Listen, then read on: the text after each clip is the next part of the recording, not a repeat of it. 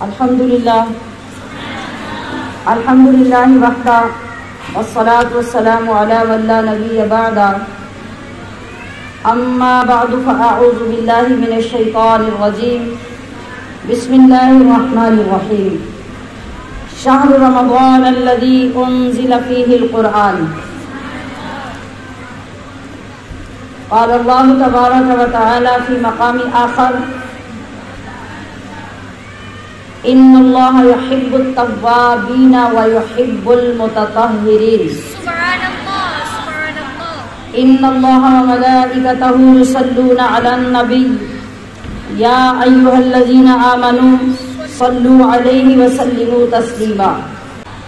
आज अल्लाह ताला के फजलो करम से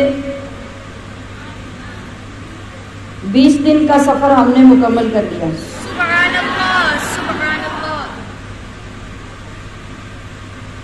और बहुत उम्मीद है कि कल जब तीसरा आशरा शुरू होगा तो वो लोग जिन पर अल्लाह ने रमज़ान में बार बार नज़र रहमत फरमाई होगी, उनके सदक़े में, हमारी शिरकत में, उनमें फरमा दी जाएगी। और ये हर रोज़ का आना जाना, बैठना और पाक कलाम से अपने दिलों को मुनवर करना यकीनन ये हमारी मफ़रत का और दोजख से आज़ादी का बायस बनेगा। सुनने के साथ साथ जो ज़िम्मेदारी हमारे ऊपर आयद हो रही है, आप बखूबी उससे वाकिफ हो चुके हैं कि कोई चीज़ किसी को सुनाने के लिए जब बंदा मुंतखब करता है, उसकी तैयारी करता है तो जब तक उसमें सोच पैदा नहीं करता उसके अंदर हकीकत नहीं होती। उसकी आवाज़ उसके दिल की तर्जुमानी नहीं कर रही होती। तो दूसरों पर उस आवाज़ का असर नहीं होता।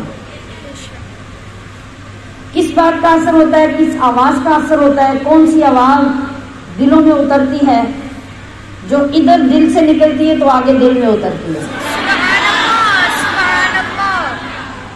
तो हम हर रोज़ एक अहद का इरादा करते हैं। हम नगमा कुरानी दुनिया को सुना देंगे। अब सुना देंगे। चले सुनाते रहें आप। कोई सुनेगा ही नहीं तो आप क्या करेंगे?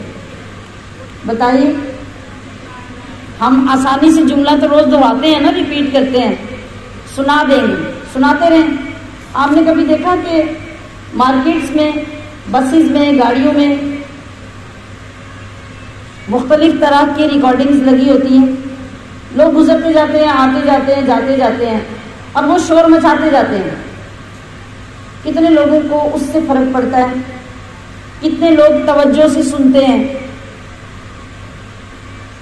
और कर रहे हैं आप। जी। इसलिए दुनिया उस पर गौर नहीं करती। लोगों को आदत हो गई है वो चीज़ें सुनने की। और उन्हें ये पता चल गया है कि बस ये सुनने के लिए है इन्हें सुनते जाओ और इग्नोर करते जाओ।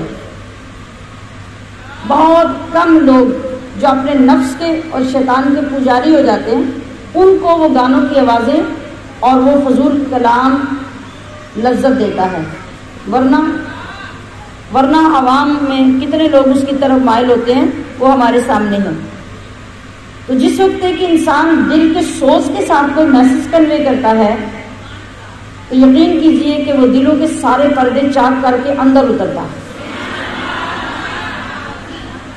तो हम एक दावा कर रहे हैं और सीख रहे हैं कि हम नगमा कुरानी दुनिया को सुना देंगे। दुनिया को सुना देंगे तो सुनाने का ढंग भी तो सीखना होगा ना। और ढंग क्या होगा? हमारी आवाज़ में सोज आए। और आवाज़ में सोच कब आएगा? जब हमारे अंदर इस नगमे की मोहब्बत उजागर होगी। जब मोहब्बत उजागर हुई और आवाज़ के अंदर सोच पैदा हुआ तो वो सोच भरी आवाज़ जब निकलेगी तो यकीनन आगे बैठे या दूर दराज सुनने वाले लोगों को घायल कर देगी और वो आवाज़ उनके अंदर उतरती चली जाएगी। अब उस आवाज़ के अंदर क्या होगा? यानी आवाज़ का लाउडली होना ज़रूरी है तो वो बहुत लाउड होगी, इसलिए लोगों तक पहुंचेगी। नहीं, उसके अंदर एक सदाकत एक सच्चाई, एक दर्द, एक सोज होगा। और वो कब होगा? जब हमें खुद समझ आएगी कि हम गा क्या रहे हैं। हम कह क्या रहे हैं? सुनाना क्या चाहते हैं? तो नगमे कुरानी को भी जब हम उस अंदाज से सीखेंगे, अपनाएँगे, फिर दूसरों को सुनाएँगे तो लोग सारे काम छोड़ के आपका नगमा सुनेंगे। फिर जब सुनेंगे, आपकी दीवानगी जब उनके ऊपर ज़ाहिर होगी तो लोग भी दीवाना होना शुरू हो जाएँगे। और आप खुद ही जब दीवाना ना हुए सिर्फ़ आपने सुनाने का एक काम लिया उसको फॉर्मेलिटी पूरी की तो भी लोग तो पागल हैं जो आपके पीछे दीवाने होते रहे।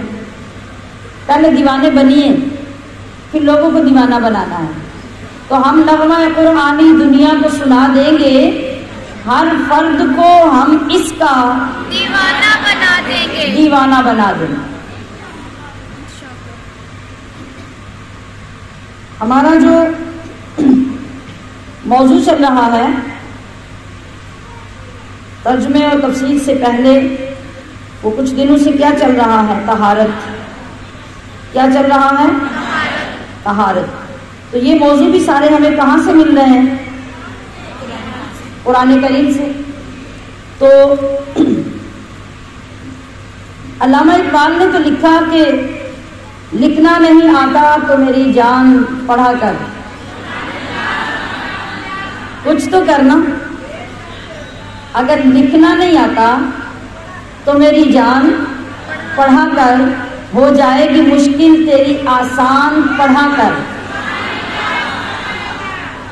तो हमने जब परसों मुसहब ट्रेसिंग का इफ्तिताह किया तो मेरे जहन में उन लोगों के लिए ये अल्फाज आए कि पढ़ना नहीं आता तो मेरी जान लिखा कर। अब आपके लिए एक और सहूलत आ गई अगर आपको इस वक्त तलफ़ ठीक करना, तजवीज़ के साथ पढ़ना, कवायद सीखना, मखारज दुरुस्त करके कुरान पाक को पढ़ना नहीं आता तो आप क्या करें? आप लिखने के ज़रिए कुरान से मोहब्बत पैदा करें। और लिखना क्या होता है? आप अगर आज के दौर से ज़्यादा वाकिफ नहीं है ना तो ये मेरे जितने बुज़ुर्ग बैठे हैं, आप ये जानते होंगे कि जो ज़माना आपका था ना, पढ़ने लिखने का, उस वक्त तख्तियाँ लिखी जाती थी। थोड़ा सा पीछे ले जाओ ना, आपको खुशी होगी कि हमारे ज़माने की बात हो रही। तख्तियाँ लिखी जाती थी। या स्लेट के ऊपर स्लेटी के साथ लिखा जाता था। और जो उस्ताद या वालिदैन होते थे वो नीचे से, नीचे हल्का सा पेंसिल के साथ लिख कर बच्चे को देते और बच्चा फिर उसके ऊपर ऊपर कलम फेर के वो लिखता। तो पंजाबी में उसे क्या कहते थे? पूर्ण डालना। क्या कहते थे? पूर्ण डालना। ये हमने जो आपको मुसफ ट्रेसिंग पेश किया है ना पुराने पाक, ये हमने आपको पूर्ण डाल के दिए अब आपने क्या करना है? आपने खूबसूरत कलम या पॉइंटर लेकर उस लिखे हुए को आपने मुकम्मल करना है। उसके ऊपर आपने खुश खत करके उसको कंप्लीट करना है और डार्क करना है, नुमाया करना है प्रोमिनेंट करना है, जिससे आपको लिखकर खुद खुशी होगी। और आपके हाथ जब उसको लिखेंगे तो आपको कितनी खुशी होगी? और यकीनन वो हाथ जो मोहब्बत, अकीदत से बावजू होकर कुरान करीम की ज़बर जेर पेश को डालेंगे तो वो भी आपकी बख्शिश का सबब बन जाएँगे। तो पढ़ने के लिए तुझको अगर कुछ ना मिले तो आपको बोरियत हो रही हो, कुछ अच्छा पढ़ने को दिल कर रहा हो, और आपको समझ ना आ रही हो तो मैं क्या करूँ? तो घरों से डाइजेस्ट मत ढूंढिए मैगजीन तलाश मत कीजिए, रिसाले मत ढूंढिए। बल्कि पढ़ने के लिए तुझको अगर कुछ न मिले तो चेहरों पे लिखे दर्द के उन्वान पढ़ाकर लोगों के पास बैठ के उनके दर्द बांटो, उनके गम की कहानी सुनो और उनकी दिलजोई करो। जब सच्चे दिल से ये करोगे तो देखना तुम्हारे दिलों को कितना सुकून मिलेगा। जब दूसरा चेहरा मुतमिन और पुरसकून हो जाएगा, आपको अपना गम सुनाकर आपके चेहरे पर भी खुशी आ जाएगी। और अल्लाह की तरफ़ तवज्जो करो तो अल्लाह ने क्या क्या तुझे नेमत नहीं बख्शी? अल्लाह ने क्या क्या तुझे नेमत नहीं बख्शी? फुर्सत जो मिले, सूरह रहमान पढ़ा कर तो बार बार जब रब फरमाएगा ना फबी आला रब्बी कुमा तो तो है मुसलमान, तेरा दिल बिछता जाएगा बिछता जाएगा अपने रब की नेमतों की तरफ़। और तेरा दिल अंदर से पुकार पुकार कर करार करेगा कि वाकई मेरे रब ने मुझे कौन कौन सी नेमत नहीं अदा की नेमतों का एहसास इंसान को उम्र के साथ साथ और स्टेटस के साथ साथ होता है। कभी उसे लगता है कि मुझे जो शानदार लिबास मिला यही सबसे बड़ी नेमत है। कभी वो कह, सोचता है, बंदा कि मेरे पास जो बाकी सारे साथियों से महँगा मोबाइल है बस यही मेरे लिए नेमत है। कभी उसके बाप की, भाई की गाड़ी, जिसमें उसे स्कूल, कॉलेज छोड़ा जाता है बाकी के सामने वो इतरा कर अपनी गाड़ी से उतरता है और वो समझता है कि मेरे पास इन सबसे बड़ी नेमत है। नहीं। आप अपनी बॉडी को देखना शुरू करें, सर से देखें। आपके तो बाल ही सबसे बड़ी नेमत है। अगर ये बाल ही आपके सर पे ना हो तो सारा दिन कोई कॉलेज और यूनिवर्सिटी में आपको ठहरने ना दे। कोई इधर से फिक्रे कसता हुआ जाएगा कोई उधर से फिक्रे कसता हुआ जाएगा और आप सारा दिन हार्ट होते रहेंगे। और अगर उससे थोड़ा सा नीचे आ जाए तो आपकी आँखें नहीं। तो आप किस काम की, आपकी नेमतें किस काम की, आपका स्टेटस किस काम का? और चलो दो नहीं तो अगर एक ही आँख नहीं और एक है, फिर तो और ही परेशानी है। फिर पता नहीं कितने नाम लोग रखेंगे आपके। और क्या क्या कुछ शाम तक आपको सुनना पड़ेगा और आपका दिन मुकर होगा, मुकम्मल होगा। और हो सकता है कि आप की रात फिर उन्हीं सारे दिन की बातों को याद करते रोते हुए गुजर जाए। तो फबी ये आला रबी को मातु का जीबान आप जब सूरत रहमान पढ़ेंगे तो आपको अंदाज़ा होगा कि अल्लाह ने आपके ऊपर कौन कौन सी नेमतें अदा की। लारेब तेरी रूह को तस्कीन मिलेगी। लारेब का क्या मतलब है? कि जो बात मैं कहने जा रही हूँ, ये हंड्रेड परसेंट से भी ज़्यादा सच्ची है। इसमें कोई शक नहीं लारेब तेरी रूह को तस्कीन मिलेगी। तू कर्ब के लम्हात में कुरान पढ़ा कर।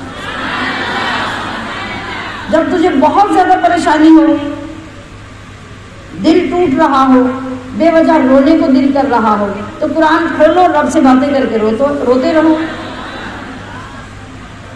दारैब तेरी रूह को तस्कीन मिलेगी। तू कर्ब के लम्हात में कुरान पढ़ा कर। सुहान बेइल्म कोई कौम तरक्की नहीं करती। जिस कौम के पास इल्म नहीं है, वो कभी बुलंद मकाम तक नहीं जा सकती। बेइल्म कोई कौम तरक्की नहीं करती। इस कौम में है इल्म का फुकदान। पढ़ा था।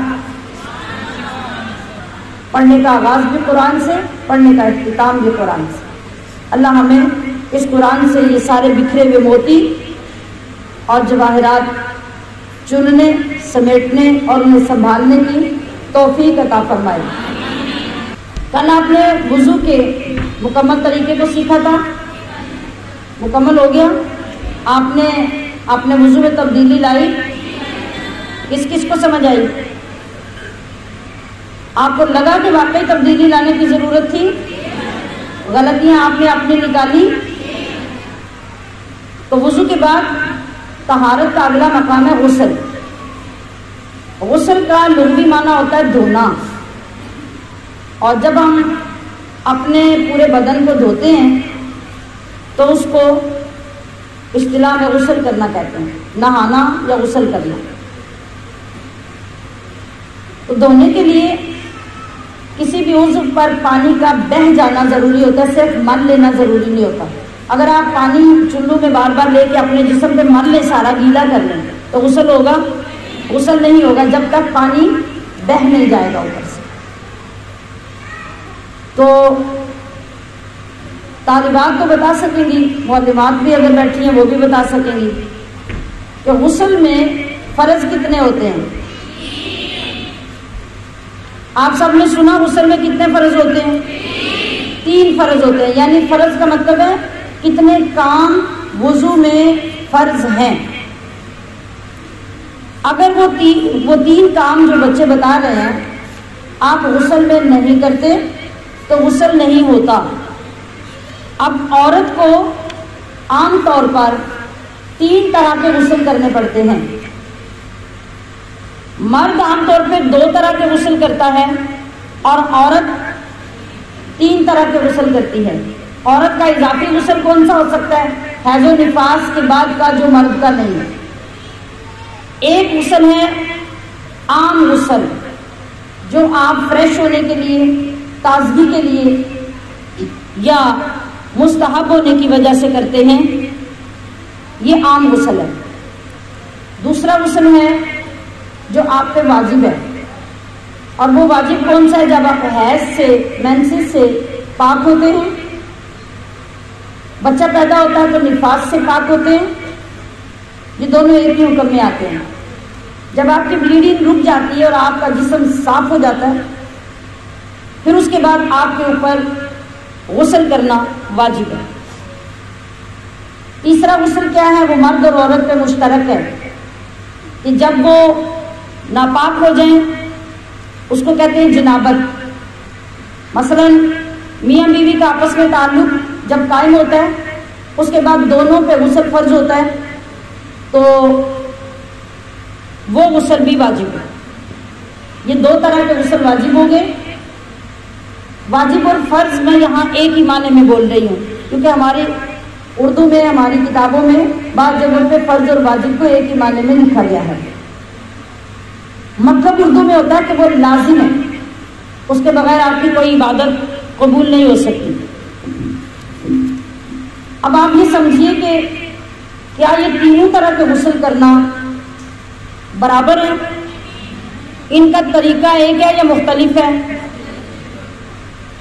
यानी गुसल करना बराबर तो नहीं मतलब जो पहला गुसल है कि आप गर्मी की वजह से, सुथराई, सफ़ाई की वजह से, या जुमे की वजह से, या किसी शब्बेदारी की वजह से आपको गुसल करते हैं, गुसल तो वो भी है। मेंसिस के बाद भी गुसल है, जनाबत के बाद भी गुसल है। अब मैं ये सवाल कर रही हूँ कि क्या इन तीनों गुसलों का तरीका एक होगा या बदल बदल के होगा? सोच के बताइए। एक होगा? एक होगा कि नहीं होगा? नहीं होगा। ठीक है। अब जो गुसल आपने गर्मी में हर रोज करना है, दो दफ़ा भी करना है, दूसरे दिन भी करना है जुमे को भी करना है, इस गुसल के लिए किसी चीज़ की कोई पाबंदी नहीं। आप बेशक डायरेक्ट जाके शॉवर के नीचे, नल के नीचे बैठे और पूरे जिसम को गीला कर लें, आपने किया है, वो फ्रेश होने के लिए है। तो ज़्यादा इसकी कोई पाबंदी नहीं है। जो गुसल आपने हैज़ यानी मंसीज और निफास से पाक होने के बाद करना है, उस गुसल के लिए ज़रूरी है कि आप अपने पूरे बदन को किसी साबुन, शैम्पू, किसी चीज़ से अच्छी तरह मल मल कर धोएँ। और वो मुकम्मल मलने के बाद साफ़ हो जाए, फिर आपका वो गुसल मुकम्मल होता है। नबी करीम सल्लल्लाहु अलैहि वसल्लम के ज़माने में साबुन और शैम्पू नहीं हुआ करते थे। आप जानते हैं कि उस वक्त लोग मैल कैसे साफ़ करते थे? जी? किसके साथ? बेरी के पत्तों के साथ। ये आज भी मुर्दे के लिए जो बेरी के पत्ते इस्तेमाल होते हैं, इस वजह से होते हैं कि बेरी के पत्तों के अंदर अल्लाह पाक ने मैल उतारने की खासियत रखी है। बेरी के पत्तों के अंदर एक ये चीज़ भी है कि जब कोई जादू जदा इंसान बेरी के पत्ते पानी में शामिल करके गुसल करेगा तो उससे जादू के श्राप खत्म हो जाएँगे, ये इतना मुबारक दरख्त है। उसका तरीका यह है कि बेरी के पत्ते ताक तादाद में, जैसे ग्यारह पत्ते हैं, इक्कीस पत्ते हैं, आमतौर पे ग्यारह काफ़ी हो जाते हैं। आप ग्यारह पत्ते लीजिए और उनको कूट लें। कूट के उनके अंदर कुछ पानी शामिल करें। पानी शामिल करके जैसे एक जग पानी लिया, उसके अंदर शामिल किया, फिर अच्छी तरह मिक्स करके उसको छान लें। वो छाना हुआ पानी आप अपने जिसम के ऊपर अच्छी तरह से मल के उससे मैल भी उतारें और अपने जिसम के ऊपर जो जादू के सरात होंगे, उनको उतारने के लिए भी उस पानी के ऊपर 11 मरतबा आयतल कुर्सी पढ़ें और 11 मरतबा आखिरी दो कुल पढ़ें। और कोशिश ये करें कि वो जो एक टब, यानी छोटे जग वगैरह में आपने पानी लिया है, उसको इस्तेमाल करने के लिए आप किसी टब में बैठ जाए। और टब में बैठकर वो पानी अपने सर जिसम, पूरे पे जहाँ तक हाथ जाते हैं, डाल के चुल्लू के साथ अच्छी तरह से मलें और फिर वो पानी किसी और जगह पे डाल दें ताकि वो नाली में या गटर में वो पानी ना जाए। बाकी उसके बाद आप साफ़ पानी के साथ दोबारा से ऊपर से उसल कर लें। चंद मरतबा वक्तन फोक्तन जादू वाला इंसान जब ये गुसल करेगा तो उसको बहुत रिलीफ मिलेगा और अल्लाह पाक उसको शिफा भी देगा।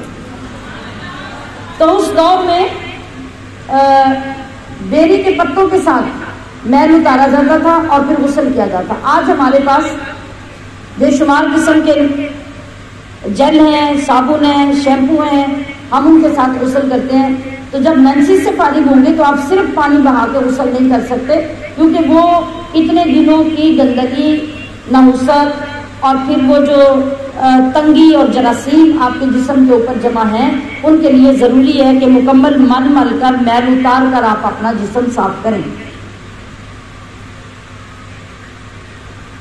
जबकि जनाबत का जो गुसल है, जनाबत के गुसल में औरत के लिए अगर प्रॉब्लम हो, मिसाल के तौर पे टाइम कम है, नमाज़ का टाइम कम है, कुछ माहौल घर का ऐसा है, या सर्दी बहुत शदीद है मतलब इस तरह से कोई भी प्रॉब्लम है तो जनाबत के गुसल में आप बाकी जिसम के ऊपर पानी डालेंगे अगर आपको ज़रूरत नहीं, जैसे आपने कल गुसल किया था, आज आपको साबुन लगाने की ज़रूरत नहीं तो नहीं लगाएँगे, तब भी गुसल हो जाएगा। शर्त यह है कि आपका हर उज्व धुलना चाहिए। जिस तरह मैंने कल वज़ू में बताया था कि कोई जगह खाली ना रहे। और जो सर के बाल हैं, औरत के सर के बाल अगर बहुत लंबे हैं, और उसने कल गुसल किया, आज फिर अगर उसे गुसल करना पड़ रहा है तो ज़रूरत के तहत वो इस तरीके से बालों को, यानी सर आगे करके बालों के अंदर जड़ों तक पानी पहुँचा के इस तरह से मन ले कि उसकी जड़ों तक मुकम्मल पानी चला गया। उसे यकीन हो गया कि सारा सर पीछे बालों की जड़ों तक गीला हो गया। और पीछे लंबे बाल अगर वो नहीं भी भिगोती है तो उसका जनाबत का उसल हो जाता है। आप देखते हैं कि घरों में जब जवान बेटियाँ जवान बहुएँ घरों में होती हैं और सुबह हर दिन में गुसल करके एक लड़की जब बाहर निकलती है और उसके गीले बाल और ये कपड़े किस तरह के घर में माहौल पैदा होता है, मेरे कहने के बगैर आप समझते हैं। जहाँ पे कंबाइंड फैमिलीज़ होती है और क्या होता है कि उस बाजुकात तो शर्म और झिझक की वजह से वो लड़की सारा दिन नापाक फिरती रहती है, गुस्सा नहीं करती। और ये कितनी बड़ी नौसत है कि उस वक्त तक घर में रहमत का फरिश्ता नहीं आता। जब तक औरत मर्द पाक नहीं हो जाते। और हमारी खातन को, इन मसाइल का पता कुछ पता नहीं। तो ऐसी सूरत में अगर इस तरह हो कि आपके बाल ही तो फ़ौरन आपका ऐलान करते हैं कि आप अभी भी उसे करके आए हैं, अभी भी उसे करके आए हैं, क्यों करके आए हैं? ये सारी हैं तो जहालत की बातें। लेकिन पैदा तो होती है ना। तो इन वजूहत की बिना पे अगर कभी ऐसा मसला हो जाए तो सर के अंदर जड़े, बालों की, सर को पूरा गीला करना, उसको धो लेना और बाल अगर आपके पीछे से खुश्क भी रहते हैं तो उससे आपके गुसल में कोई फ़र्क नहीं पड़ता। लेकिन मेंसिस और हैज़ के गुसल में एक एक बाल का आखिर तक धोना ज़रूरी है। मुझे उम्मीद है कि आपको इस बात की समझ आ गई होगी। अब रही बात के गुसल का सुन्नत तरीका क्या है? तीन फ़र्ज़ आपने बताए हैं गुसल के। पहला फ़र्ज़ बताएँगे क्या है? क्या? कुल्ली करना। कुल्ली करना। कुल्ली इस तरह की जाए कि दांतों के अंदर कोई चीज़ फंसी हो तो वो निकाल लें और गरगरा करके अच्छी तरह गले तक आपके मुँह के अंदर सारा पानी फैल जाए। फिर भी शक रहे तो तीन दफ़ा कुल्ली करने के बाद एक बड़ा घूट पानी का पी लें, ताकि कोई खदशा ना रहे। लेकिन रोज़े में इससे फ़ायदा नहीं उठाना। रोज़े में आप पानी नहीं पी सकते। आप कुल्ली करने में भी एहतियात करेंगे। आप उस वक्त यूँ करके गरगरा नहीं करेंगे। बल्कि एहतियातन पानी जितना इजीली जा सकता है और आपके अंदर पानी ना जाए इस तरह आप रोज़े में कुली करेंगे। तीन बार कुली कर ली। दूसरा? नाक में पानी डालना। नाक में पानी डालना।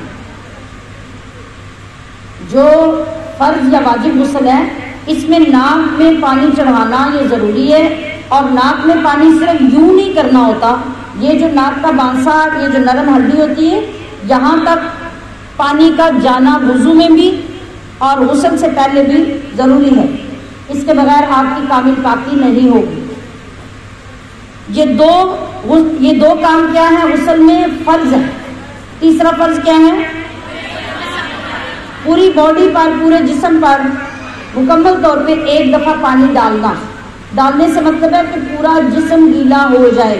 आपकी बगलें, आप अगर मोटापे का शिकार हैं तो जो ये प्लेट बन जाते हैं, डबल पेट हो जाता है, उसको उठाकर उसके नीचे तक और जोड़ों के अंदर तक पानी का पहुंचाना। इस तरीके से पूरे जिसम पे पानी डालना। ये तीन काम आपने कर लिए तो आपके गुसल के फ़र्ज़ पूरे हो गए। अगर आप इसके सिवा कुछ नहीं कर सकते तो फ़र्ज़ अदा होकर गुसल हो जाएगा। ठीक है? लेकिन मेंसेस के बाद का मैंने बता दिया कि आपको कैसे गुसल करना है, उसके आकाम को ध्यान में रखना होगा। इसके बाद हम आएँगे सुन्नत की तरफ़। सुन्नत तरीका ये है, आप जब वॉशरूम में दाखिल होने लगे बाथरूम में तो सबसे पहले बाहर खड़े होकर बिस्मिल्लाह पढ़ें। और अंदर जाकर जब आप कपड़े उतारें तो उसके बाद सबसे पहले इस्तिंजा करें। अगर आप के जिसम पर रिमूविंग की ज़रूरत है, यानी जो आपके जिसम के फालतू बाल हैं, आपको वो साफ़ करने हैं, आप उनको साफ़ करें। आपके जिसम पे नाक के नीचे किसी जगह पे भी कोई गंदगी, कोई नापाकी लगी है, आप उसको साफ़ करें। इस्तिंजा करें, मुकम्मल तौर पे जो आपको तरीका बताया गया। और उसको साफ़ करने के बाद फिर आप अपने हाथ धोएँ। हाथ धोने के बाद सबसे पहले अपने सर पे पानी डालें। सर पे पानी डाल के उसको अच्छी तरह से आप धो लें। यानी साबुन लगाना है, शैम्पू लगाना है, वैसे धोना है। आप इस अंदाज से अपने सर को धोएँ और उसके बाद दाएँ तरफ़ तीन मरतबा कंधे से लेके पैर तक पानी डालें।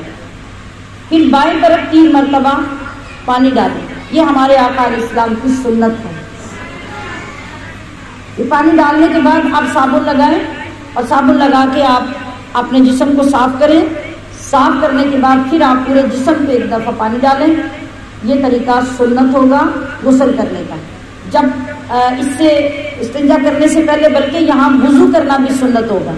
और वज़ू में आप देखें कि अगर पाक जगह पे बैठे हैं और नीचे आपके जैसे आजकल हमारे बाथरूम बहुत साफ़ सुथरे टाइलिंग हुई होती है, कोई ऐसा मसला नहीं होता।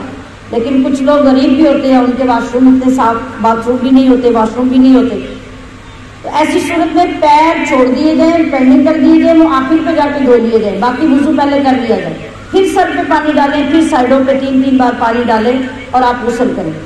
जो औरत हैज़ से पाक होती है, आप देखिए कि हमारे नबी सल्लल्लाहु अलैहि वसल्लम ने तहारत, कामिल तहारत का तरीका, कितनी एहतियात का बताया। एक खातून नबी करीम सल्लल्लाहु अलैहि वसल्लम की बारगाह में हाजिर होती है। मैंने कहा शुरू में कि हमारे लोग मसले पूछने में शर्म करते हैं, बाकी बेशर्मी हमारी आसमानों तक पहुँची होती है।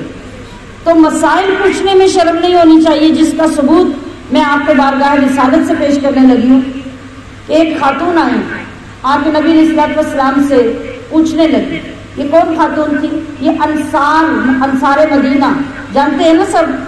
महाजरीन वो थे जो मक्का से आए थे और जो मदीना में रहने वाले थे, वो अंसार थे। तो अंसार की औरतों की तारीफ़ मुस्तफ़ा करीम ने फरमाई। आपने फरमाया कि अंसार की औरतें बहुत आला मकाम रखती हैं, इसलिए कि इनकी हया इनको दीनी मसाइल पूछने से नहीं रोकती।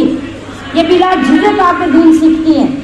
तो अंसार में से एक औरत ने आके पूछा, या रसूलुल्लाह जब मैं हैज़ से फारिग हूँ तो मैं गुसल कैसे करूँ?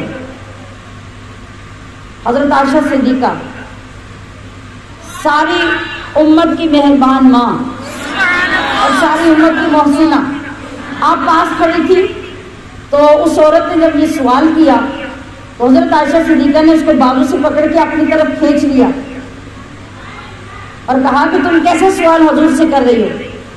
और साइड पे करके उसे बताया जब तुम गुसल कर लो तो रूई के साथ खुशबू लगा के अपनी शर्मगाह के अंदर रखो, ताकि जो अंदर वो सात आठ दिन नापाकी की वजह से, एक गंदगी की वजह से जो जरासीम पैदा हुए हैं और बदबू पैदा हुई है, वो तुम्हारी बदबू, तुम्हारे जिसम से खत्म हो जाए। यानी औरत को इस हद तक ज़ाहिर और बातिन में पाकिजगी और सफ़ाई का दर्श दिया गया। हमारी खवतीन के हालात क्या होते हैं, हर बंदा अपने हाल को खुद देख ले, गौर कर ले। नबी करीम सल्लल्लाहु अलैहि वसल्लम ने हर हफ़्ते या पंद्रह दिन के बाद अपने जिस्म के फालतू बाल लेने का हुक्म दिया। अब हमारी खवतीन के अंदर कॉन्सेप्ट ये है कि महीने के बाद जब मेंसेस से फारिग होने उसी दिन छह घंटे का गुसल करना है। भाई को मरता तो मर जाए, जीता तो जीता ये किस शरीयत में लिखा है? और ये गंदगी पर गंदगी को जमा करने वाली बात है। यानी आप पूरा महीना जब जिसम को साफ़ नहीं करते, फिर वो उसी में मेंसेस के दिन गुजारते हैं। फिर वो गंदगी उसके अंदर जमा होती है और उसके बाद जाके आप दोनों गंदगियों को एक साथ साफ़ करने की कोशिश करते हैं तो ये कतन हमारे इस्लाम का मिजाज नहीं है। हर औरत को हफ़्ते बाद नहीं तो दो हफ़्ते के बाद लाजमी अपने जिसम के अंदरूनी हिस्सों को साफ़ करना चाहिए। उसे मेंसिस के दिनों का इंतज़ार कतल नहीं करना चाहिए, ना ये बात उनके साथ कोई ताल्लुक रखती है। बल्कि असूली तौर पे देखा जाए एक गंदगी पहले जिसम के अंदर आ रही है तो उससे पहले जो गंदगी है, उसको तो पहले से साफ़ कर लेना चाहिए। फिर आप दो गंदगी से बच सकते हैं। आप ये देखते हैं कि जिस घर के अंदर ज़्यादा गंदगी होती है, वहाँ नाहुसल ज़्यादा होती है, बरकत नहीं होती, तंगी होती है, इबादत की तरफ़ तवज्जो नहीं होती। तो हमारे जिसम का भी यही हाल होता है। लिहाजा मुझे उम्मीद है कि आप अब गुसल के बारे में भी अच्छा तरीका सुन्नत तरीका और अपनी गलतियों को दुरुस्त करने का तरीका सीख चुके होंगे। आइंदा इन तमाम बातों का ख्याल रख के गुसल करने का तरीका इख्तियार कीजिए। अल्लाह पाक हमारी मदद फरमाए और हमें तहारत और पाकिजगी के साथ जिंदगियाँ बसर करने की तौफीक अता फरमाए। आज इंशाअल्लाह अज़ीज़ हम अपना सबक मुकम्मल करने जा रहे हैं। यानी आज पारा हमारा मुकम्मल हो जाएगा। आखिरी दौर को हम पढ़ेंगे। अऊज़ु बिल्लाहि मिनश शैतानिर रजीम। बिस्मिल्लाहिर रहमानिर रहीम। इन्नल्लाहा खालिकुल हब्बि वन नवा।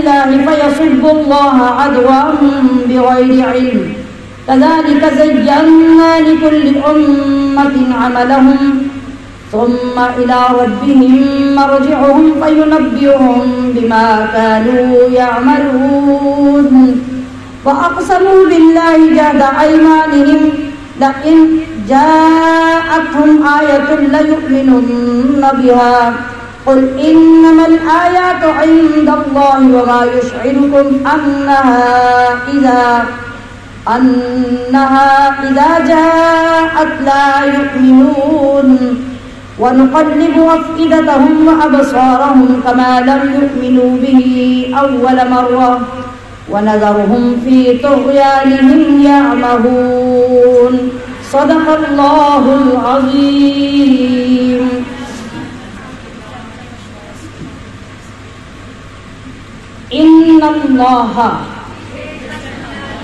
बेशक अल्लाह ही फालिको फाड़ने वाला है। अल हब्बी दाने वन नवा और गुठली को। फाड़ने वाला फालिक और चीरने वाला, ये एक ही माना है। यानी किसी चीज़ को चीर चीर कर उसके अंदर से चीज़ निकालने वाला या फाड़ कर निकालने वाला। अब इसकी वजाहत आगे होती है। युखरिजुल हय्या, वो निकालता है ज़िंदा को। मिनल मय्यती मुर्दा से और वह मुखरिजुल मय्यती और निकालने वाला है मुर्दे को मिनल हय्य। ज़िंदा से। क्या कुदरत है उसकी? और ये मजाहर हमारी आँखों के सामने होते हैं। हम देखते हैं कि नहीं? अंडे से क्या निकला? नहीं पता? तो बोले ना। अंडे से क्या निकला? मुर्दा की ज़िंदा? ज़िंदा। और अंडा क्या था? अंडा मुर्दा था। तो मुर्दे से क्या निकाला? ज़िंदा। और ज़िंदा से ज़िंदा से मुर्दा निकालता है। अंडा कहाँ से आया? अंडा कहाँ से आया? मुर्गी क्या थी? ज़िंदा। तो अंडा क्या था? मुर्दा। दोनों मिसालें इसी से हमें मिल गई। तो ये अल्लाह की कुदरत है। जालिकुमुल्लाह। ये है अल्लाह। यानी एक ही कुदरत से देख लो कि अल्लाह क्या है। ये है अल्लाह। फअम ना तो फकुल तो फिर कहाँ तुम औंधे फिरे जाते हो? यानी कहाँ तुम तबाह हो रहे हो? कहाँ गर्क हो रहे हो? तुम्हें कौन सा रास्ता सूझ रहा है? इस रब को छोड़ के कोई और रास्ता है जिधर तुम्हें जाना चाहिए? हरगिज नहीं। फालिकुल इसबाह तारीकी फाड़ कर निकालने वाला किसको? अल सुबह को। हम क्या पढ़ते हैं? कुल आऊज़ु बिरब्बिल। बिरब्बिल? नास नहीं अभी आना। बिरब्बिल? फलक। बोले? ये फलक तो फेल है और फालिक कौन है? ये फ़ाइल है। फलक का मतलब है फाड़ना या उसने फाड़ा तो जब दिन निकलता है तो दिन से पहले क्या होता है? रात। जब रात होती है तो कोई इंसान का सबूर कर सकता है कि रात को कोई खत्म कर सकेगा ये अंधेरा छटेगा लेकिन क्या होता है? दुनिया देखती रह जाती है। रब उस अंधेरे को फाड़ कर साफ़ शफाफ सुबह निकाल देता है। इसलिए कहा गया कि फालिकुल इसबा तारीखी रात के अंधेरे को चीर कर, फाड़ कर सुबह को निकालने वाला। वजह और बनाया उसने रात को सकनन, आराम और सुकून के लिए। व शम्स और सूरज को वन कमर और चाँद को खुशबाना हिसाब करने के लिए। आपके जहन में है सूरज और चाँद से हिसाब होते हैं कि नहीं? होते हैं ना? चाँद की फला तारीख को क्या होता है? फला को क्या होता है? चाँद की तेरह चौदह तारीखें क्या कहलवाती हैं? उनमें क्या होता है? चाँद की पिछली तारीखों में फ़सलों को क्या फ़ायदा होता है? और पहली तारीखों में क्या होता है? किसानों से पूछिए। हिसाब होता है कि नहीं होता? चाँद की रात जब आती है पहली रात तो एक सुबह ईद होती है। फिर चाँद की दसवीं तारीख आती है तो दूसरी ईद तब होती है। फिर चाँद की दस एक और महीने में आती है तो दस मुहर्रम होती है। फिर चाँद की बारह होती है तो कायनात को रूज मिलता है बारह बजे चला जाता है। हिसाब हुआ कि नहीं हुआ? अब सूरज से हिसाब कैसे होता है? पुराने लोगों से पूछे अगर कोई यहाँ साठ, सत्तर, अस्सी साल की खातून बैठी हूँ तो इनसे पूछे अपनी जवानी में जोहर की नमाज़ कैसे पढ़ते थे? कैसे पढ़ते थे? घड़ी देख के नहीं टाइम का कैसे पता चलता था? इतना अंदाज़ा था, इतना अंदाज़ा। उस बार ना ये हिसाब ऐसे रखते थे लोग, यूँ चलते चलते सूरज को देख के बता देते थे, इतने बज गए। इतना टाइम हो गया। घड़ियाँ तो हमारे जमाने की इजाद है ना। तो देखिए अल्लाह ने क्या कुछ पैदा किया इंसान के लिए। जानी का तकदीर, ये सब अंदाज़ा है। अल अज़ीज़ अलीम खूब गालिब इल्म वाले का। अल्लाह ने ये सारे हमारे अंदाजे के लिए मखलूक़ात को पैदा किया और इसीलिए कहा कि जानवर पैदा किए तेरी वफा के वास्ते। चाँद, सूरज और सितारे हैं जिया के वास्ते। जिया का मतलब रोशनी। खेतियाँ सरसब्ज हैं तेरी रिजा के वास्ते। और ऐ इंसान, आखिरी पॉइंट तेरे लिए ये है कि सब जहाँ तेरे लिए और तू खुदा के वास्ते। वहुवल नजीर और वही है, यानी अल्लाह जाला जिसने बनाए लकुन तुम्हारे लिए अनजुम सितारे लिता तदू ताकि तुम राह मालूम कर सको या हदायत पा सको बिहा इनसे। फ़ी जुलुमातिन अंधेरियों में अंधेरियों से मुराद तारीकियाँ और तारीखी कौन सी? कभी रात की तारीखी कभी जुल्म की तारीखी कभी बरबरीत की तारीखी जो भी तरीकी जो भी अंधेरी आए, उसमें रात तुम्हें कुरान देगा। और सितारे जो अल्लाह ने बनाए ये सितारे भी हमें बहुत सारे ज़िंदगी के मामला में रास्ता देते हैं। रास्ते के मुराद क्या है? गाइडलाइन समंदर में ये सितारे इंडिकेटर बन जाते हैं। जो रोड्स के ऊपर लगे होते हैं और आपको पता चलता है कि आपने इधर जाना है, इधर जाना है, वो सितारों के ज़रिए समंदरों में सफ़र करने वाले सफ़र करते हैं। और कभी कभी आपकी ज़िंदगी के मामला इनके साथ जुड़े होते हैं। वो जो इल्म हासिल करते हैं, उसके ज़रिए वो बताते हैं तो वहाँ से भी आपको गाइडलाइन मिलती है। फिजुलमातिल बर्री वल बहर, अंधेरियों में खुश्की की और समंदर की। पद फ़सल ना ताकीद हमने तफसील बयान कर दी। अल आयात, आयतों की या तफसील से बयान कर दी हमने आयतें। कौमी या इल्म वाले कौम के लिए। बेइल्म, बेअकल और ज़ाहिर इंसान को जो मर्ज़ी दलीलें देते रहो, वो तो समझने से रहा। समझ हमेशा उसे आती है जिसके अंदर या अकल होती है या इल्म होता है। वह नजीर। और वही अल्लाह जिसने अनशाकुम पैदा किया तुम्हें। यानी हम सबको, मिन नफ्सिन वाहिदा, एक जान से। वो एक जान कौन है? वो एक जान कौन है? आदम अलैहिस्सलाम। और आदम अलैहिस्सलाम से फिर हमारी विलादत का ज़रिया कौन पैदा किया? एक हवा और फिर उस हवा के पेट से पूरी कायनात पैदा हुई फमुस्तकल फिर किसी जगह ठहरना है वह मुस्तौदा और किसी जगह अमानत रहना। ठहरने से मुराद दुनिया में ठहरना और अमानत से मुराद कबर। अद फ़सल ना बेशक हमने मुफसल बयान कर दी, अल आयात, आयतें, ये कौमी ये कहून समझ वालों के लिए। वहुल्लजी और वही है जिसने अनजला मिन समा नाजिल किया आसमान से मा अन पानी व अखरजना, फिर हमने निकाली बिही उससे, यानी पानी से, नबात। नबात अरबी में सब्जियों को कहते हैं। और हर ज़मीन से उगने वाली जो चीज़ होती है, उसको भी नबात कहा जाता है। और हमने निकाली उससे उगने वाली कुल्ला शई हर शय कुल्ली शई अखरजना मिन हो फिर हमने उससे निकाली खादिरन, सब्ज़ी। नुखरिजू के निकालते हैं हम मिन उससे हब्बम मुतराकिबा। दाने तय दर तय, यानी एक दूसरे पे चढ़े हुए। अब मटर को ले लें। मटर खोलें अंदर क्या है?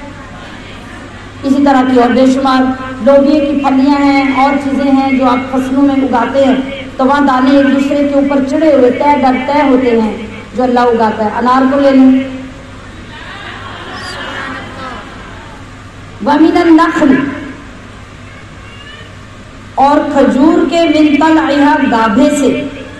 यानी हम ये सब्ज़ियाँ भी निकालते हैं, ज़मीन से डायरेक्ट उगती हैं।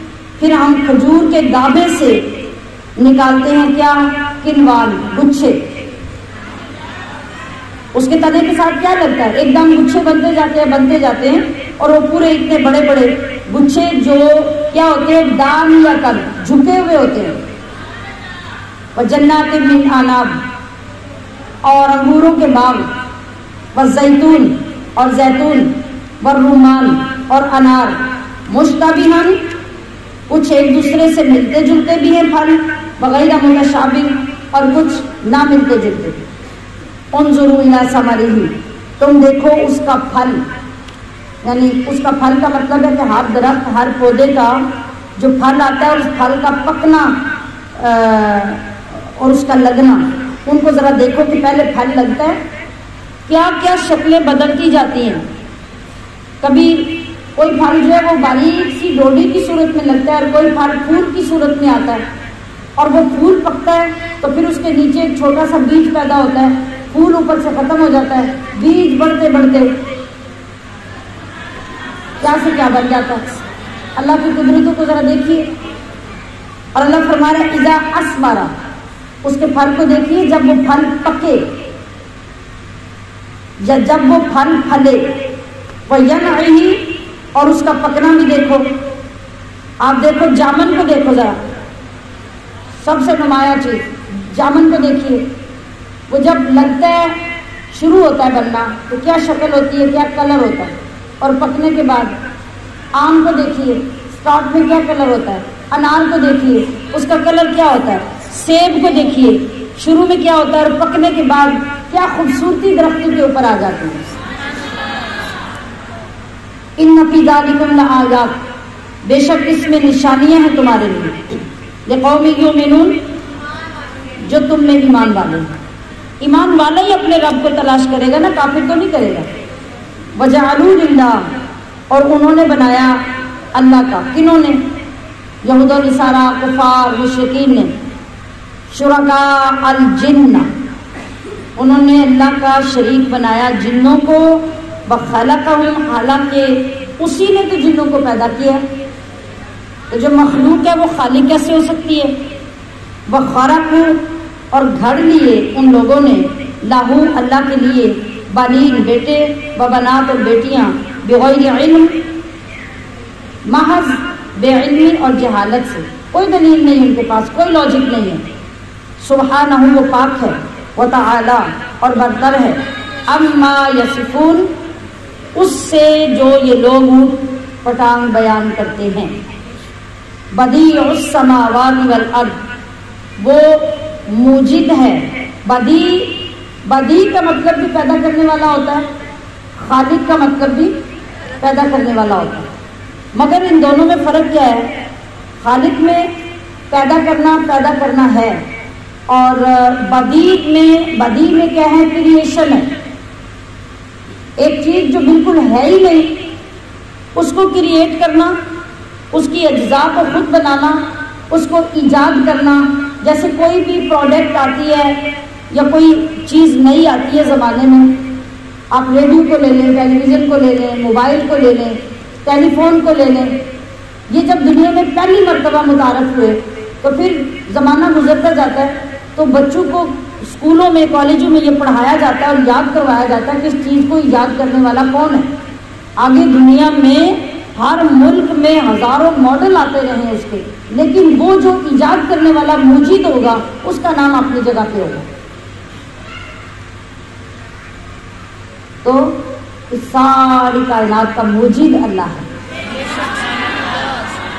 बदी का क्या मतलब है? क्रिएटर जिसने सिरे से बगैर किसी मॉडल, बगैर किसी डिज़ाइन के, या बगैर किसी से रहनुमाई लिए कोई चीज़ बनाई। हम छोटी सी एक चीज़ बनाते हैं ना तो क्या करते हैं। हम बहुत सारे आइडियाज़ कलेक्ट करते हैं। और आइडियाज़ को जमा करके उनके अंदर से एक अपना नया आइडिया निकालते हैं। अल्लाह ने किसी से आइडिया नहीं दिया। और बनाया भी क्या? अल्लाह ने कोई छोटा सा मोबाइल नहीं बनाया, कोई माइक नहीं बनाया, कोई साउंड नहीं बनाया। अल्लाह ने आसमान बनाए, अल्लाह ने ज़मीन बनाई। और किसी से कोई डिज़ाइन नहीं लिया कोई राय नहीं ली ये बदी उस समावाती का लफ्ज है। बगैर नमूने के, बगैर डिज़ाइन के, बगैर किसी के आइडिया के, वो खुद नए सिरे से पैदा करने वाला मुजिद है। अन्ना यकून लहू। तो क्यों कर होगी उसको वालदुल औलाद? कैसी दलील है? कि खुदा के बंदो, ये सोचो कि जो रब बगैर किसी डिज़ाइन और बगैर किसी की राय के आसमान और ज़मीन तखलीक कर सकता है। वो इतना पावरफुल इतना ताकतवर है। तो इसको मामूली मामूली औलाद की क्या ज़रूरत है? जो मुशरकिन कहते थे ना कि फरिश्ते अल्लाह की बेटियाँ हैं, ईसा इस्लाम अल्लाह के बेटे हैं, और उजैर इस्लाम अल्लाह के बेटे हैं तो ये उनका जवाब दिया जा रहा है। बलम तकुल्ला साहिबा हालाँकि उसकी तो कोई बीवी नहीं। वह खाला ककुल्ला शही उसने तो हर हर शय को पैदा किया है। वह हुआ बिकुल्ली शहीन आलिम, और वही हर चीज़ को खूब जानता है। अब उसको बीवी की, बच्चों की, फैमिली बनाने की क्या ज़रूरत होगी? और किस कदर जहालत की बात है कि एक इंसान अल्लाह के लिए उठकर ये सब जानते हुए कहे कि अल्लाह की औलाद है और अल्लाह की बीवी है माजल्ला रबुकुम ये है अल्लाह, तुम्हारा रब। ला इलाहा इल्लाहु, नहीं कोई माबूद, मगर वही। कायनात में कोई दूसरा माबूद न था, ना है, ना होगा। खालिक कुल्ली शई। वो हर शय को पैदा करने वाला फाबुदू तो फिर तुम उसी की इबादत करो। वह हुआ अला कुल्ली वकील। और वो हर चीज़ पर निगहबान है। लातुदरी को नहीं घेर सकती उसे। अनबसार आँखें, निगाहें। यानी हमारी ये जो निगाहें हैं, हमारी ये जो आँखें हैं, ये इस जहान में कभी अल्लाह को देख नहीं सकती, अल्लाह का दीदार नहीं कर सकती। ये अकीदा है हमारा, ये बात याद रखिएगा। इस अकीदे के अगेंस्ट आप कुछ नहीं कह सकते, ना सोच सकते हैं। बाहुबल युद्री को लबसार और वो घेरे हुए हैं, तमाम नज़रों और तमाम निगाहों को हर आँख उसकी रेंज में है, उसकी नज़र में है, मगर हमारी नज़र कभी उसको देख नहीं सकती। बाहुबल लतीफुल खबीर, और वो बहुत बारीक बीन मुकम्मल खबरदार है। और जा अकुल बेशक आ चुकी तुम्हारे पास? बसवाइल बसवाइल बसीरत की जमा है। बसीरत का मतलब होता है कोई ऐसी चीज़ जो आपके अंदर की आँख को खोलती है। एक होती है बसारत। बसारत इस नज़र को कहते हैं। बसीरत हमारे अंदर की जो नज़र होती है ना, जो बहुत कुछ देख लेती है, उसको बसीरत कहते हैं। तो बसायर आँखें खोलने वाली दलीलें रबी रब्बिकुम, तुम्हारे रब की तरफ़ से। फमन अबसरा तो जिसने देखा, फली नफसी ही तो वो उसने अपने ही भले के लिए देखा। वमन आमिया, और जो अंधा रहा, यानी अंधा रहना क्या होता है? हम किसको कहते हैं कि तुम अंधे हो, तुम्हारी आँखें नहीं हालाँकि आँखें सामने नज़र आ रही हो। तुम जिसको हदायत की बात, अच्छी बात अपील नहीं करती, जिसको अच्छी बात पसंद नहीं आती उसको मानने के लिए तैयार नहीं होता तो वो अंधों से भी बदतर है। और कुरान करीम ने उनको अंधा ही कहा है। तो फरमाया कि वमन आमिया, और जो अंधा हुआ फ़ालहा तो वो अपने ही बुरे को हुआ। इलहा इलहा का मतलब है कि इसका बेनिफिट जाता है किसी को अलहा का मतलब है कि वो उसके लिए नुकसानदेह होता है। वमा आना अलैकुम, और मैं नहीं तुम पर बेहाफिज निगहबान। वकजाली का और इसी तरह नुसरफो हम तरह तरह से बयान करते हैं अलायाती आयतें बलियालू और इसलिए, यानी हम क्यों तरह तरह से बयान करते और क्यों आपको ये सब बता रहे हैं हबीब सल्लल्लाहु अलैहि वसल्लम? बलियालू ताकि वो बोल उठे, यानी कहें, दरस्ता, कि आपने तो पढ़ लिया है, कहीं से, यानी लीक आउट हो गया है। मतलब आप अगर ये बातें कर रहे हैं, ये जो हमारी किताबों में लिखी थी और आप तो तब थे नहीं। तो इसका मतलब है कि आपने किसी से ये चीज़ें जाके पढ़ ली हैं। तो वाली लुबई भी ना हो और ताकि हम वाजे कर दें उसको। जो कौमी या आलमून उस कौम के लिए जो इल्म वाली है या इल्म वाली कौम के लिए। जी। इसका मतलब क्या बताया जा रहा है कि हम बार बार जो अपनी तरह तरह से फेर फेर कर बदल बदल के टॉपिक के और उन्वान के साथ आयते लाते हैं, ये इसलिए है कि ये लोग इबरत हासिल कर लें और इन पर अल्लाह की हजत कायम हो जाए। लेकिन काफिर, उनके नसीब में इबरत कहाँ? उनके नसीब में नसीहत कहाँ?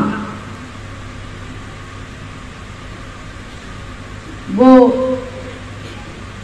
ये कह उठते कि, ए मोहम्मद वसल्लम, तुमने गुजश्ता किताबों को पढ़ लिया है और तुम्हारे ऊपर अब कोई नई किताब नहीं आ रही। ना ही तो तुम नए मुस्तकिल नबी हो माजल्ला बल्कि जो हमारी पिछली किताबें थी ना, वो कोई लीक आउट हो गई हैं और तुमने उनको पढ़ लिया है। इसलिए उनके मुतलक तुम बातें हमें बताते हो, यानी देखिए कि हट गर्मी का अंदाज और झूठ और बुग्ज और हसद की इंतहा, कि वो कहाँ से कहाँ तक पहुँच गए वो आपको नबी आखिर जमा मानने के लिए तैयार नहीं है, बल्कि जब उन्हें देखा कि ये बातें आम बातें नहीं और वाकई हमारी किताबों की बातें हैं तो अल्लाह की सिवा तो ये कोई जानता नहीं।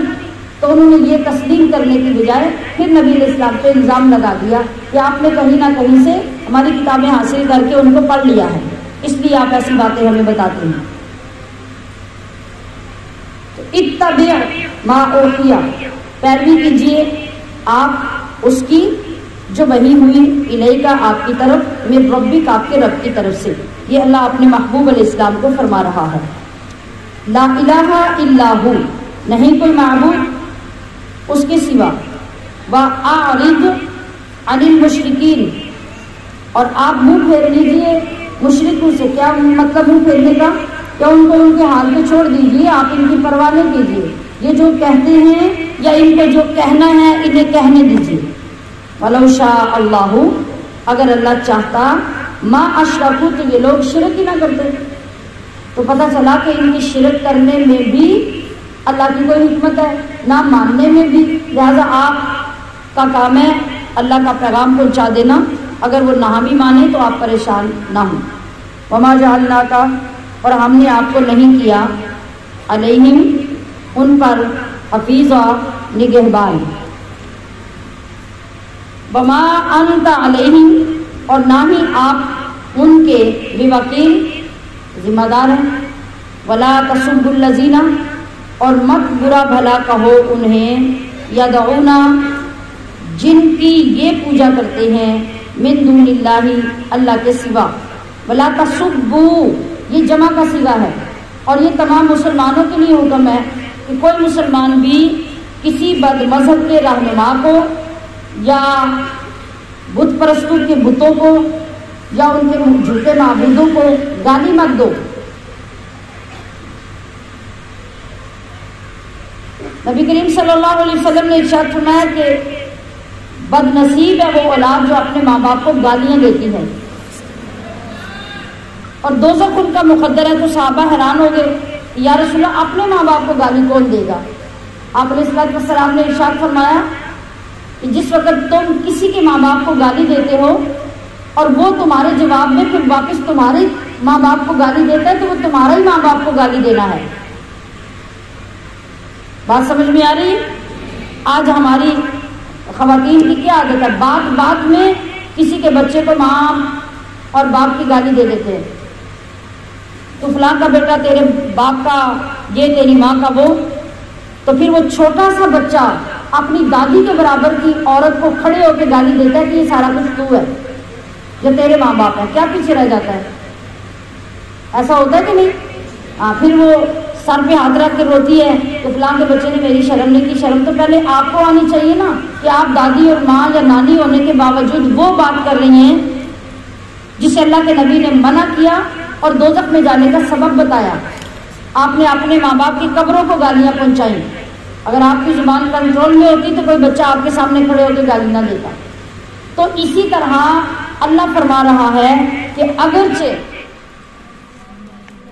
अगरचे कोई कितना ही बुरा हो, कितने ही बुरे रास्ते पे चलता हो, मगर तुम कभी उसके रहनुमा को बुरा मत कहो। क्या होगा? जिस तरह आप अपने रहनुमा को जान की हद तक चाहते हैं और उसके खिलाफ कोई बात बर्दाश्त नहीं करते। इसी तरह कोई और भी अपने रहनुमा के लिए कोई बात बर्दाश्त नहीं करता। बेशक। वो गलत रास्ते पे हो या सही पे। तो जब आप किसी के रहनुमा को गाली देंगे तो वो जवाब में आपके रहनुमा को गाली देगा। उसका मबूद तो झूठा होगा लेकिन तुम्हारा मबूद तो सच्चा है। तो तुम अपनी बेवकूफ़ी की वजह से अपने सच्चे रब और सच्चे नबी को गालियाँ दिलवाओगे। अल्लाह करीम ने देखिए कि कितनी नफीस तरबियत फरमाई हम हमारी कि हमें अपनी ज़ुबान पे नाजुक से नाजुक वक्त में भी कंट्रोल करना चाहिए। फरमा दिया कि उनके मबूदों को अगर तुम गालियाँ दोगे फयसुबुल्लाह तो वो जवाब में अल्लाह को बुरा भला कहेंगे, अल्लाह को गालियाँ देंगे। अदवन, किस वजह से? अदावत करते हुए, बगैर इल्म, जहालत से। कजाली कजयन्ना ऐसे ही हमने मुजयन कर दिया, लिकुल्ली उम्मतिन, हर उम्मत के लिए अमलहुम, उनका अमल। सुम्मा इला रब्बिहिम, फिर उन्हें अपने रब ही की तरफ़ मर्जउहुम, पलट कर जाना है, या पलटना है। फयुनब्बिउहुम तो वो उन्हें बताएगा, बिमा कानू या अमलून जो कुछ वो अमल करते थे। व अकसमू और कस्में खाई उन्होंने। बिल्लाही, अल्लाह की जहद ईमानिहिम पूरी कोशिश से अपने हलफ में, यानी हलफ उठाते हुए अल्लाह की कस्में खाते हैं और अल्लाह को अपनी कस्मों का गवाह बनाते हैं। ये क्या है? कुफार मक्का ने नबी सलाम की खिदमत में हाजिर होके ये किया कि आप हज़रत मूसा और ईसा के मोजात बयान फरमाते हैं, अगर हमें आप हमारी मुँह मांगी निशानियाँ दे दें तो हम आप पर ईमान दे आएँगे। तो नबी इस्लाम ने इर्शाद फरमाया कि बताओ तुम क्या चाहते हो? उन्होंने कहा कि हम ये चाहते हैं कि ये जो सफ़ा पहाड़ है, नाम याद है ना सफ़ा और मरवा पहाड़? उन्होंने कहा कि हम आपको तब नबी मानेंगे जब आप ये सफ़ा पहाड़ पूरे का पूरा सोने का बना दें। या अगर ऐसा नहीं तो फिर आप ये करें कि हमारे खानदानों में से कुछ लोगों को जो पुराने फोत हो चुके हैं, उनको ज़िंदा करें और ज़िंदा करके हमारे सामने लाएँ और वो मुर्दे उठकर आपकी गवाही दें। तो हम ही मान ले आएँगे। तीसरी बात क्या? या फिर आसमानों से फरिश्ते बुलवाएँ और वो फरिश्ते ज़मीन पे आके आपकी गवाही हमारे सामने दें तो हम आप पर ईमान ले आएँगे कितनी चीज़ें रखी? सफ़ा पहाड़ सोने का बना दे, हमारे बड़ों में से मुर्दे ज़िंदा करें और वो हमारे सामने आके गवाही दे, या फिर फरिश्ते आके आपकी गवाही दे। नबी सलाम ने इरशाद फरमाया कि अगर मैं तुम्हारी मांगी हुई इन चीज़ों में से कुछ दिखा दूँ तो क्या ईमान ले आओगे? तो वो कस्बे खा खा के बोले कि ज़रूर ज़रूर हम ईमान ले आएँगे। नबी सलाम ने इरादा फरमाया कि अगर ये कुछ दिखाने पर ईमान ले आएँगे तो मैं दुआ करूँ। जब आप सल्लल्लाहु अलैहि वसल्लम ने दुआ करने का इरादा किया तो हज़रत जबरील फ़ौरन हाजिर हो गए। और आकर अर्ज़ किया, महबूब आपकी शान तो ये है कि आप जो भी दुआ करेंगे अल्लाह रब्बुल इज़्ज़त उस दुआ को कबूल कर लेगा। लेकिन अल्लाह ये भी फरमा रहा है आपकी दुआ कबूल हो, हो गई। सफ़ा पहाड़ सोने का बन गया या मुर्दे ज़िंदा होकर गवाही देने आ गए या फरिश्ते गवाही देने आ गए ये हो जाएगा। मगर जब ये देख कर भी ये लोग ईमान नहीं लाएँगे तो फिर ये सब के सब हिलाक कर दिए जाएँगे, इनमें से बाकी कोई नहीं बचेगा। तो अगर आप ये दुआ ना करें तो ये हिलाकत से बच जाएँगे, और शायद ये बच जाए तो ये ईमान ना लाए, आगे इनकी नस्लें ईमान ले आए। तब नबी सलाम ने, चूँकि आप रहमतुल्लामीन थे, और आप नहीं चाहते थे कि मेरी कौम हिलाक हो जाए, आपने दुआ का इरादा छोड़ दिया उस पर अल्लाह रब्बुल इज़्ज़त ने ये आयत करीमा नाजिल फरमाई, व अक़समू बिल्लाहि जहदा अयमानिहिम, जो भी मैंने आपको पढ़ के सुनाई है।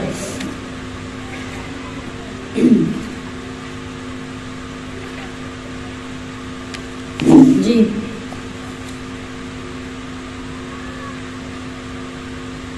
लाइन जातुमायतुन कि अगर उनके पास कोई भी निशानी आ जाए तो लाइयो मिनुन ना बिही ज़रूर ईमान ले आएँगे वो उस पर। कुल इन नमालायात ए हबीब, आप फरमा दीजिए, बेशक निशानियाँ तो ईद अल्लाह ही के पास हैं।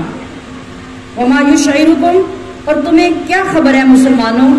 अन्नहा ईजा कि जब ये जात निशानी आ जाएगी लाइयो मेनू ये तब भी ईमान नहीं लाएँगे। ये चूँकि अल्लाह के इलम में था कि निशानी आने पर भी ये लोग ईमान लाने वाले नहीं, लिहाजा अपने महबूब को दुआ करने से रोक दिया, ताकि ये लोग बचे रहें और हिलाक ना हो जाए।